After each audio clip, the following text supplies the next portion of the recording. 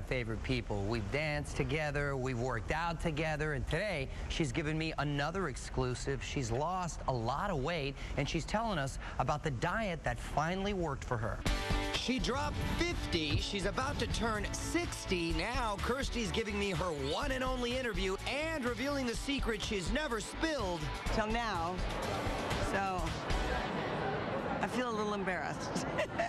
Well, don't be, because here's something to be proud of. I've lost 50 pounds. Yes, 5-0, down from 230 and ready to lose even more. When you have 40 to go, it's sort of a double-edged sword. but I'm happy.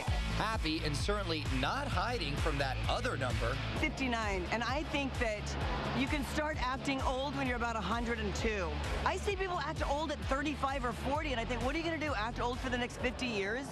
So why not celebrate by Dancing with the Stars? Yeah, they've asked me several times. I don't know if I'm brave enough to go on Dancing with the Stars. I do have a favorite. It's Jennifer. I like Jennifer. I love Patrick, and there's a little bit of a, you know, Patrick, Jennifer. That was one of my favorite movies, and I just love her. Patrick and I did North and South together. Many, many, many months of filming. He's a great guy. Yeah. Missed.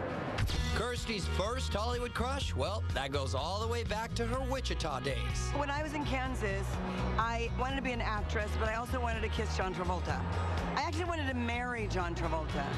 All right, John, I said it. I didn't really ever tell him.